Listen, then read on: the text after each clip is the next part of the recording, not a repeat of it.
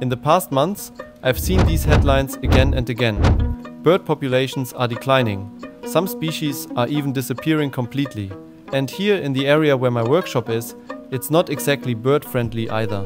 That really made me think, maybe I can do something about it. So, I decided to start simple, with food. Birds need a reliable source of nutrition, especially in winter. And my idea was, I'll just go and buy a feeder. But when I looked at what was available, I wasn't happy.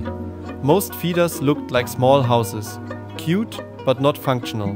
They didn't fit my style and honestly, I knew I could design something better. Something simple, minimalistic and easy to maintain. So instead of buying one, I went back to my workshop and decided to build my own version, the perfect design bird feeder. The concept is simple, but carefully thought through. Since most feeders are hung up to keep squirrels and mice away, it made sense to use the cord not only for hanging, but also to connect all the parts. The top cone protects the food from rain. The middle section, printed in semi-transparent PETG, makes it easy to see the fill level. And the bottom part is designed as a tray, where birds can comfortably sit and feed. The assembly couldn't be easier. The parts are simply threaded onto a cord, one after another. For outdoor use, the feeder should ideally be printed in PETG or ASA, since PLA can become brittle over time and develop cracks. I chose a matte PETG because it gives the feeder a much more premium finish. A simple knot at the bottom keeps everything in place.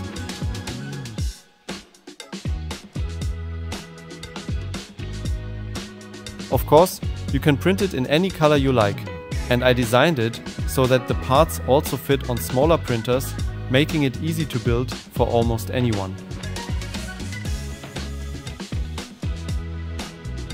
I wanted the feeder to be tool free, just slide the top up, pour in the seeds and let it drop back down.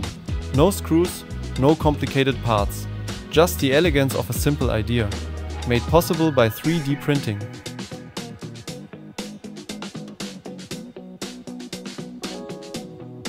Want to build your own bird feeder? All the files and the full build guide are available on my Ko-fi page. And if you're thinking about getting a 3D printer yourself, make sure to follow I share tips, tricks and upcoming courses to get you started. Now that the feeder is assembled and filled, let's take it outside and hang it up. And afterwards, we'll wrap up with a short conclusion where I'll share the main pros and cons of this design and what it actually cost me in the end.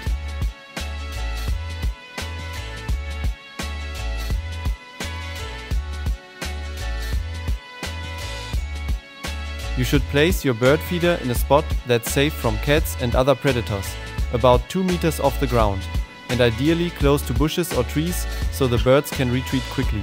Large glass surfaces should be avoided to prevent collisions, and a semi-shaded spot is best so the food doesn't spoil too fast. In my case, that's not really possible, but I did find a place right outside my workshop where I'll hang the feeder and wait to see if it gets accepted. To keep track of it, I set up this security camera pointing directly at the feeder. It automatically records a short clip whenever there's movement. It can take a while until birds get used to a new feeder, but this way I won't miss the moment, and as soon as I get footage, I'll share it on my Ko-fi page.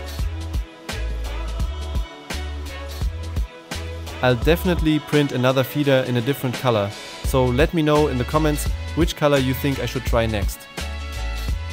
So let's wrap this up. I'm really happy with how this bird feeder turned out. It's exactly my style and I love the clean, minimal design. But the real question is, apart from looks, is it even worth 3D printing your own feeder? Let's break it down.